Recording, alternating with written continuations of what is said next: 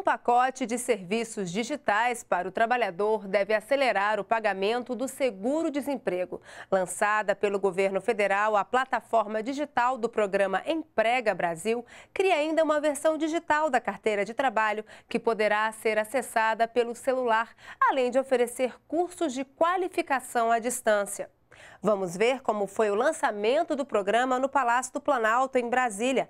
A cerimônia teve a participação do presidente Michel Temer. Dando início a essa cerimônia, assistiremos a vídeo institucional sobre o programa Emprega Brasil. Um mundo mais ágil e moderno. O governo federal facilita a vida do trabalhador, garantindo empregos e diminuindo burocracias. Cine Fácil, uma forma rápida e prática para encontrar emprego. Aplicativo com 20 milhões de buscas por vagas e 180 mil entrevistas de trabalho encaminhadas, tem lançado a versão 2.0. Ainda pelo celular, o brasileiro vai poder consultar a carteira de trabalho digital. No aplicativo, é possível acessar qualquer informação sobre o contrato de trabalho atual ou os anteriores. Mas não é só isso o governo federal ajuda na qualificação com a Escola do Trabalhador. É simples. A plataforma pode ser acessada pela internet de qualquer lugar. São oferecidos 50 cursos de graça para até 6 milhões de pessoas. E para agilizar o pagamento do seguro-desemprego, o pedido do benefício vai ser feito online. Acesse o site empregabrasil.mte.gov.br.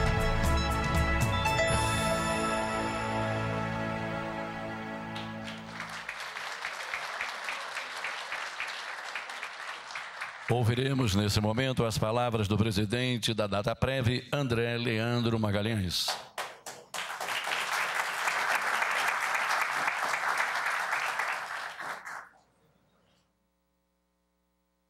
É um orgulho participar do lançamento de mais três produtos desenvolvidos pela DataPrev, que tem o objetivo de expandir e modernizar os serviços do Ministério do Trabalho.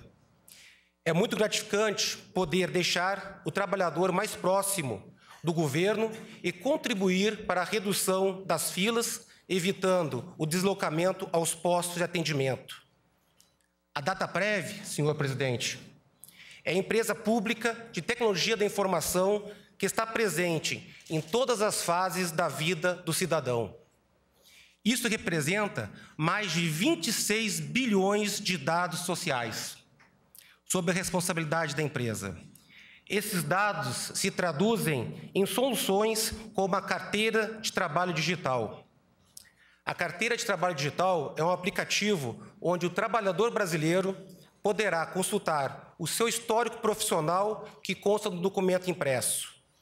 Estamos falando em uma base de dados de 100 milhões de registros, onde mais de 39 milhões de trabalhadores ao acessarem um novo aplicativo, já terão a sua carteira de trabalho em formato digital.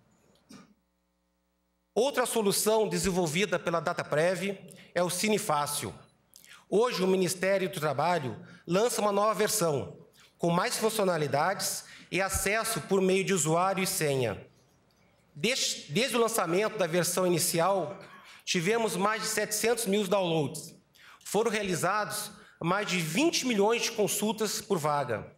Só em outubro foram 5 milhões e mais de 180 mil entrevistas de empregos agendadas pelo aplicativo. Esses números, senhores e senhoras, estão refletidos nos dados do CAGED e demonstram a positiva retomada do mercado de trabalho.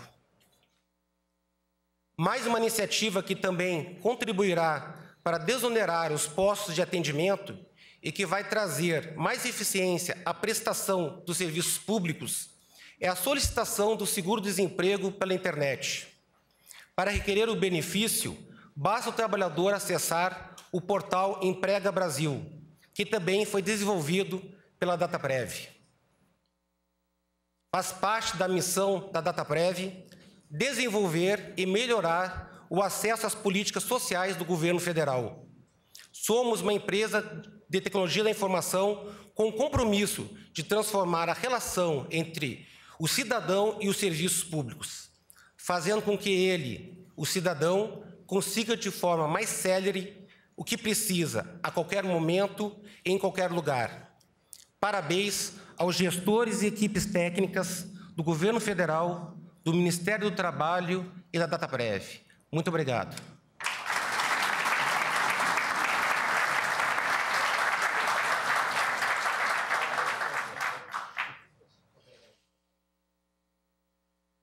Em seguida, fará uso da palavra o ministro do Trabalho, Ronaldo Nogueira.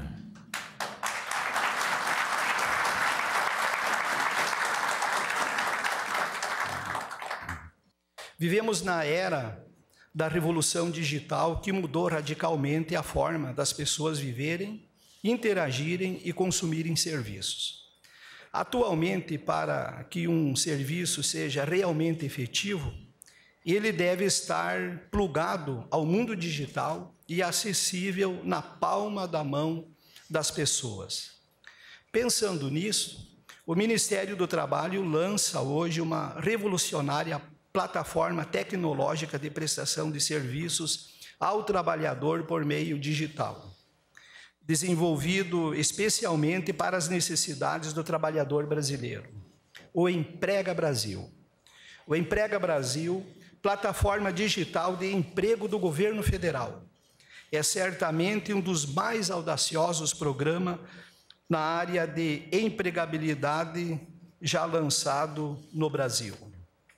Com uso intensivo de tecnologia de ponta e assim privilegiando a queda vertiginosa dos custos e o aumento exponencial de acessibilidade. O programa se desenvolve em quatro ações complementares entre si.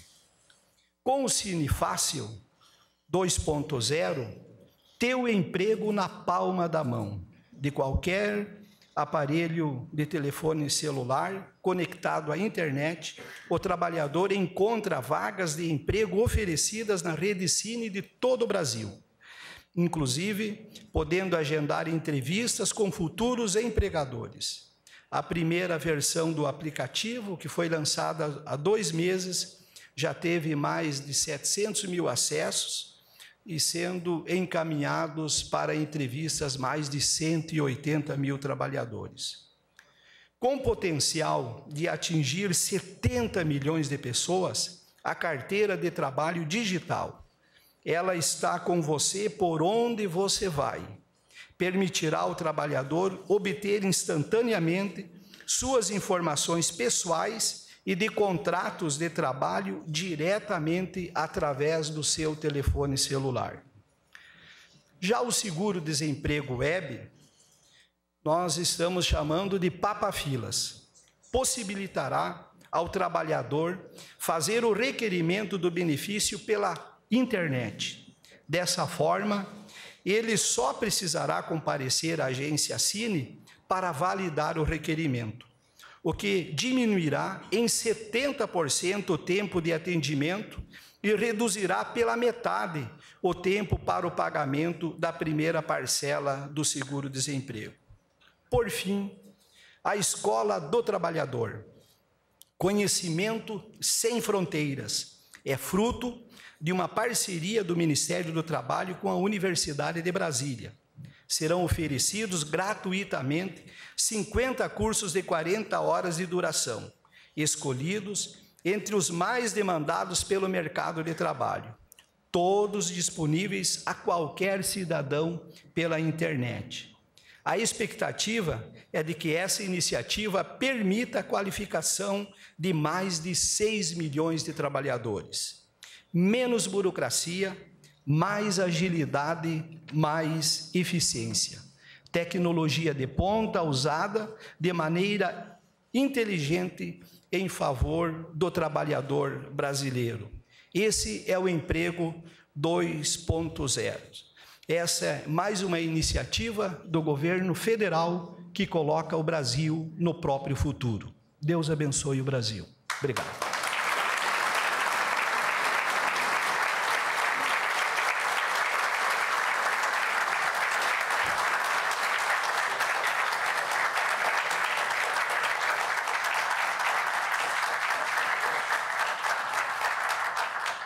Ouviremos agora o presidente do Tribunal Superior do Trabalho, Ives Gandra.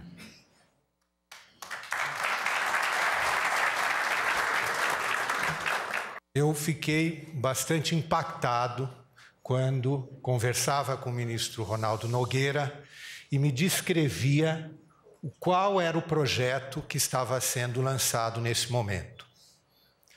Nós temos parceria entre a Justiça do Trabalho e o Ministério do Trabalho em muitos campos: trabalho seguro, combate ao trabalho infantil.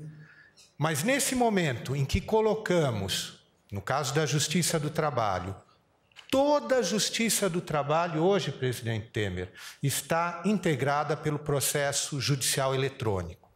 Qualquer advogado, qualquer procurador, qualquer juiz pode acessar imediatamente, qualquer cidadão, peticionar, recorrer, é, responder, contestar eletronicamente, em qualquer parte do Brasil ou do mundo.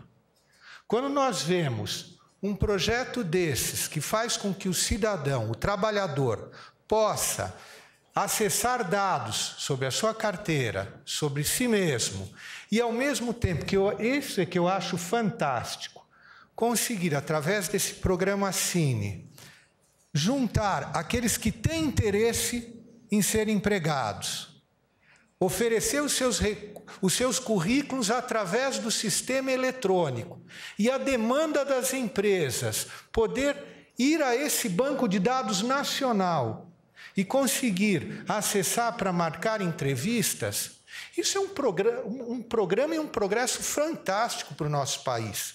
Nos coloca integralmente na era digital. Se a CLT foi editada para a Revolução Industrial Brasileira, em 1943, e a nossa reforma trabalhista, modernização da reforma em 2017, fez com que nós chegássemos à revolução digital, modernizando a nossa legislação. Recentemente, o presidente Michel Temer, ao editar, inclusive, a medida provisória 808, fazendo a sintonia fina daquilo que tinha sido aprovado no Congresso e feita pelo Senado Federal, hoje nós temos todo o instrumental. O instrumental jurídico e o instrumental tecnológico para que o trabalhador brasileiro consiga rapidamente ser empregado, as empresas estimuladas pela segurança jurídica poderem empregar mais e, ao mesmo tempo, a Justiça do Trabalho, com esse instrumental jurídico, poder discutir, poder resolver e pacificar os conflitos com rapidez. Portanto, eu parabenizo o presidente Temer, o ministro Ronaldo, por essa iniciativa e entendo que estamos dando passos seguros para a modernidade nas relações trabalhistas no Brasil. Muito obrigado.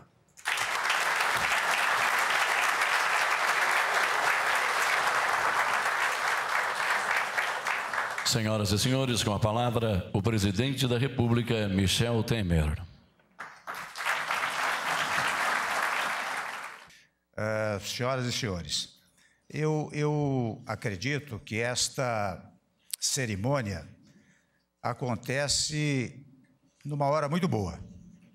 Nós estamos uh, reunidos aqui para tratar da maior prioridade do nosso governo, que é a criação de empregos, que é o que temos feito desde o início uh, em diversas frentes do nosso uh, governo.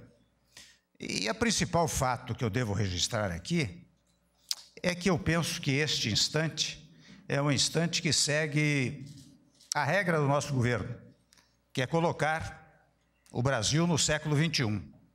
Durante muito tempo, ainda neste século, nós não trouxemos o Brasil para o século XXI. Eu acho que as últimas medidas tomadas, reveladoras de um grande impulso no combate, por exemplo, ao desemprego, e agora na modernização que está se fazendo, é que nos coloca definitivamente neste novo século. Ainda ontem, interessante, eu jantava com a convite de alguns jornalistas e empresários, e um deles que é dono de uma grande cadeia varejista, me disse, doutor Ives Gandra, que nesta semana, em face da nova lei trabalhista, ele já havia contratado 10 mil novos empregados. E um outro instituto, com outras empresas também do setor varejista, estavam empregando também, ao longo desta semana, até a semana que vem, mais 100 mil empregados. Sendo certo, e aqui nosso aplauso ao Ronaldo Nogueira, nesta, neste mês de outubro, o CAGED não é, apontou 76.600 vagas preenchidas de empregos formais, empregos com carteira assinada mas é, não apenas valem as carteiras assinadas. O que vale enormemente é exata e precisamente o grande número de ocupações que se deram ao longo desse período. Já com estas 76.600 vagas, preenchidas agora, atingindo mais de 230. Hein? Mais de 304 mil postos de trabalho com carteira registrada. Mas volto a dizer, de ocupações, né, de ocupações, uh, nós atingimos mais a esta altura de 1 milhão e 100 mil ocupações ao longo desse trimestre. O que significa precisamente aquilo que ao longo do tempo nós plantamos lá atrás na nossa chamada ponte para o futuro. Nós tínhamos que sair de uma recessão, de uma recessão uh, muito preocupante. Levamos seis, sete, oito meses para com, começar a sair da recessão e logo em seguida nós começamos a, a produzir eh, dados positivos. Não preciso dizer, muitas vezes eu sou repetitivo, né? mas convém sempre relembrar a inflação, os juros, a queda enorme que houve na inflação. Hoje nós estamos em 2,54, quando estávamos há pouquíssimo tempo atrás em mais de quase 10%. Uh, eh, os juros que estavam em 14,25, hoje, a taxa Selic, hoje em 7,50, caminhando, segundo dizem os analistas, para 7, eh, 7%. Portanto, numa queda uh, extraordinária. De fora a parte, a Bolsa de Valores, que tem revelado índices extraordinários, nós atingimos o maior índice há pouco tempo atrás, desde que o índice de Bolsa de Valores foi criado é? O número de empregos é isto que nós acabamos de verificar, e concomitantemente a estas conquistas eh, no plano empresarial, no plano uh, do emprego, na queda da inflação, na queda dos juros, nós tínhamos que modernizar o país. E nesse sentido, eu até peço um aplauso para o Ronaldo Nogueira, porque tem feito um trabalho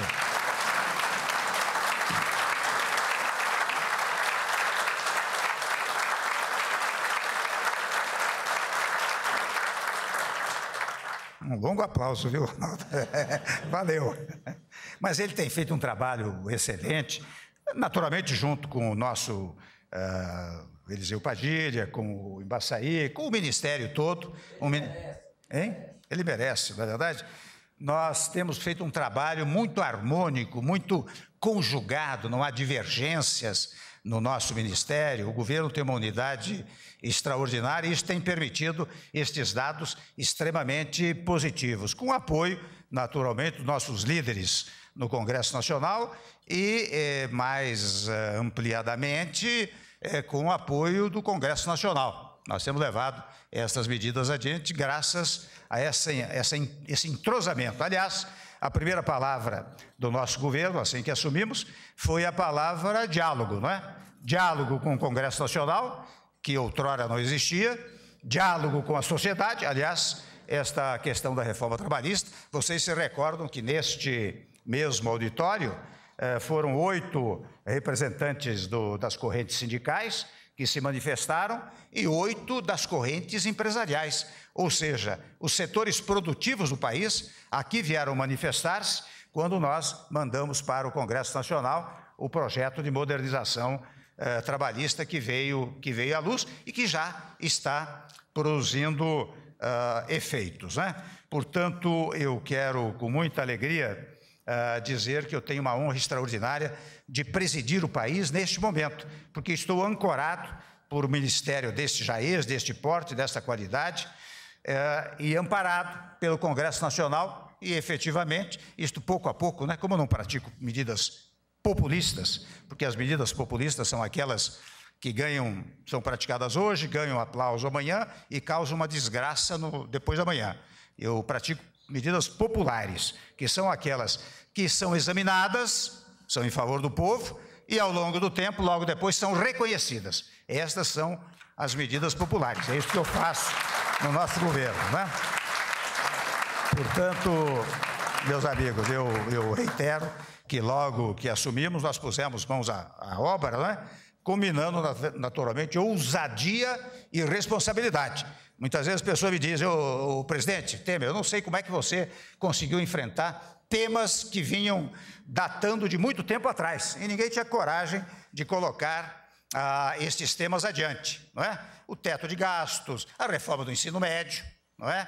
A, modernização trabalhista, agora, naturalmente, a, a reforma da Previdência, que eu tomo a liberdade de dizer que é uma coisa fundamental sem causar prejuízo a ninguém. É, é, nós estamos trabalhando agora é, junto ao Congresso Nacional, junto à sociedade, fazendo não publicidade, mas fazendo um esclarecimento. Portanto, quando os senhores e as senhoras verificarem no, na televisão, nos jornais, é, uma, uma suposta publicidade da Previdência, não se trata disso. Trata-se de esclarecimento, porque a, o, a, as, as manifestações equivocadas em relação à Previdência Social têm sido é, muito amplas, né? E, e, e, volto a dizer, equivocadas. Então, o que nós temos feito é dizer: olha, nós estamos fazendo uma reforma que vai causar vantagens para a Previdência Social, mas ela é, é, é, é não, é, não é muito ampla. É? Nós temos a, o limite de idade, que nós vamos levar adiante, e vamos equiparar os sistemas é, público e privado no tocante à Previdência Social. Então, nós temos feito esse esclarecimento com o objetivo de, na verdade, nós podemos sobreviver nos próximos anos, não é?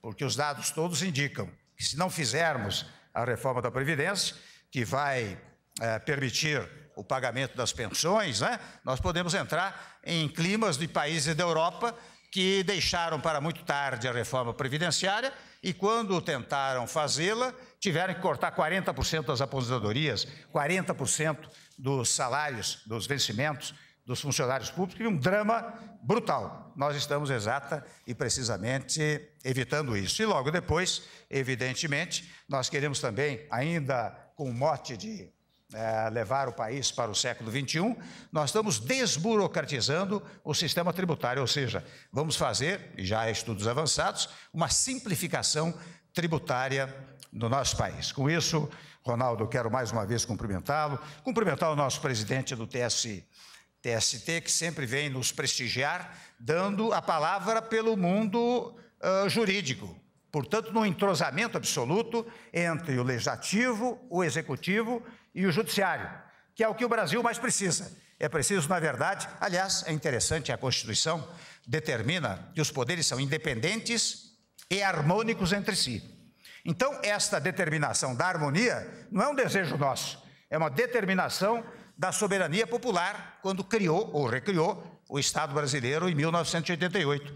Então, toda vez que eu vejo uma certa desarmonia entre os poderes, eu digo interessante, nós estamos praticando uma inconstitucionalidade, porque a determinação constitucional é de harmonia entre os poderes. Aqui está revelada esta harmonia pela presença dos líderes da Câmara, do Senado, ah, do Judiciário, na pessoa do doutor Ives Gandra, e do Executivo, pela presença dos ministros. Portanto, viva a modernização trabalhista, viva a chegada ao século XXI. Vamos em frente.